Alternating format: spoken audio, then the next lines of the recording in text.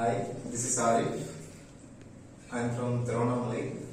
I have done my Bachelor of Engineering Mechanical 2019 passed out. Later I joined QSpiders Got any knowledge.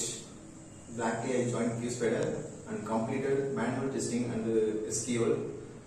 SQL and uh, attend, attend interview. In, in my first interview itself, I got placed in a good company uh, the name is Tristar Global uh, with a good, good package, decent package.